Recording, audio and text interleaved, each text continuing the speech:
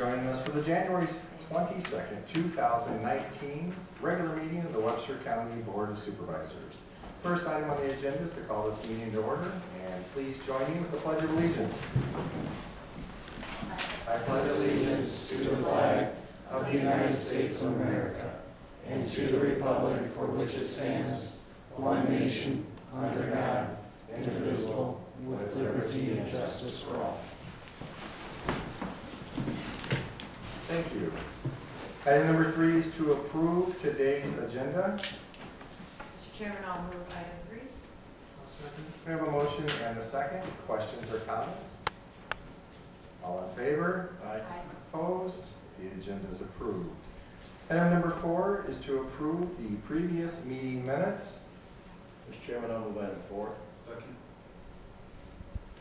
We have a motion and a second. I'm sorry, excuse me, Mr. Chairman, Mr. Dencklau can't approve that because he wasn't here last week.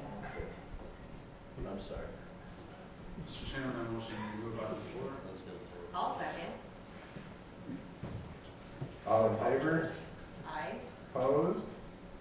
The motion carries. Item number five is to approve today's drainage claims. We have none. Item number six is, is to accept and place on file the hiring and employment of Caleb Carmichael, Corrections Officer, part-time, effective January twenty-second, two thousand nineteen, at the rate of fifteen ninety-three per hour, per the recommendation of Steve Elfritz, Jail Administrator.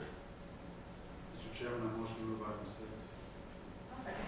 A motion and a second. Questions or comments on item number six? Seeing none, all in favor? Aye. Opposed? Item six carries. Item seven is to receive and place on file the resignation of Teresa Myers effective January 18, two thousand nineteen, per Kari Prescott, Webster County Health Director. Mr. Chairman, I'll move item seven. Second. Motion and a second. Questions or comments on item number seven? Seeing none, all in favor? Aye. Opposed? The motion carries. Item number eight is to appoint Kent Imers to the Planning and Zoning Board for a term of five years. Make a motion, we move item eight. I'll second. Motion and a second. Questions or comments on item number eight? All in favor? Aye. Opposed? Item eight carries. Item number nine is to receive and place on file actuary evaluation report for the Webster County other post-employment benefits that are known as the OPEB plan from Silverstone Group. Mr. Chairman, I'll move item nine. Second. We have a motion and a second. Was Ted gonna try to send something out on this? Um, this was, the OPEB is mine. Okay. Um, it is a requirement that we have to do this every three years for the GASB seventy-seven report that we file. And so this was our, just our, it used to be a three-year, now it's a two-year, um, report that needs to be done. It just determines post-employment benefits and then we can compare it with other, um, counties and then also determine the, the rate. Okay. Questions on item number nine? All in favor? Aye. Opposed? The motion carries. It is now the citizens' opportunity to address this board with items not on today's agenda. Board of Supervisor Committee reports. I don't have any. I have Midas tomorrow. I have mental health tomorrow in Black Hawk. All right, we have a ten thirty hearing on the proposed skylight repairs in the bank building at 723 First Avenue South, Fort Dodge. And then we'll have a bid letting and proposed hearing to follow.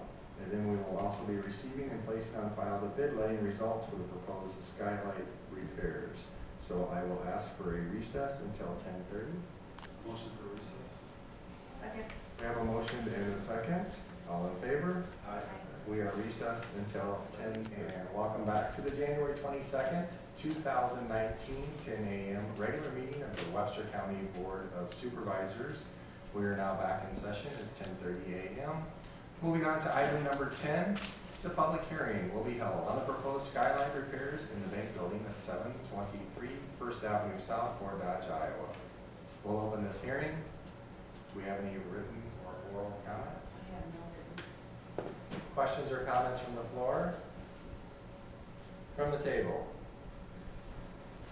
All right, we'll close the hearing at ten thirty-two. Item number eleven is a bid letting on proposed skylight repairs in the bank building. We're gonna turn it over to Paul. We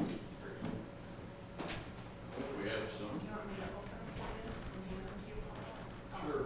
Give you a poll or, uh, bid bonds first.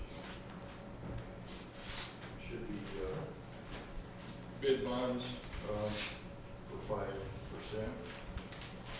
It is on the AIA document, ten as instructed.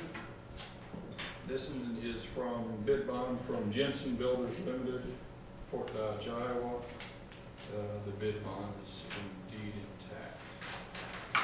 Form of proposal. Very good.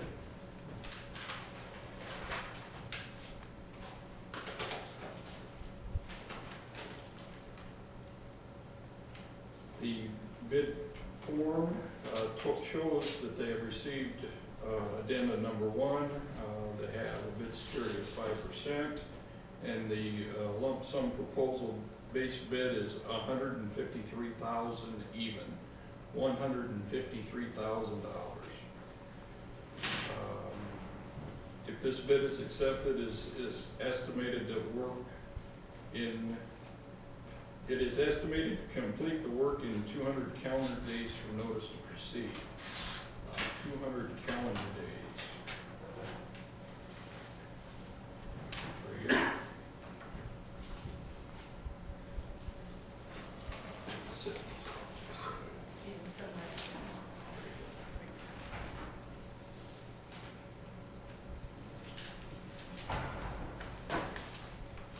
Second proposal is a, a bid security from uh, Woodruff Construction LLC, Fort Dodge, Iowa. Uh, It is on the AIA uh, document for bid bond. And it is signed, sealed, and an original.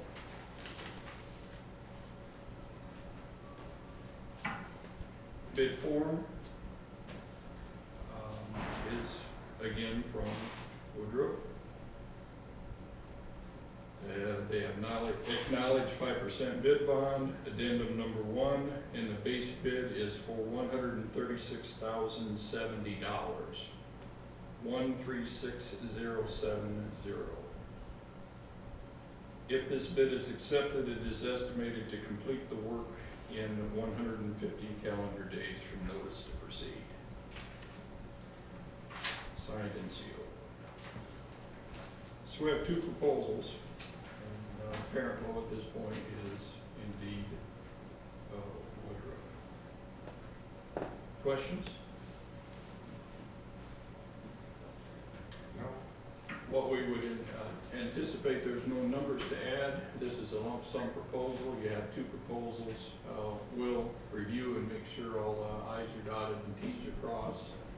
And uh, if the board would then anticipate awarding this a week from today, uh, if acceptable. All right. We'll move on to item twelve, which is to receive and place on file the bid letting results from the proposed skylight repairs in the bank building. Mr. Chairman, I'll move item twelve. Second. We have a motion and a second. Questions or comments on the two bids that were received today? Seeing none, all in favor? Aye. Opposed? The motion carries. Thank you, Paul. Thank you, you. Last item on the agenda is to adjourn. Second. All in favor? Aye. We are adjourned.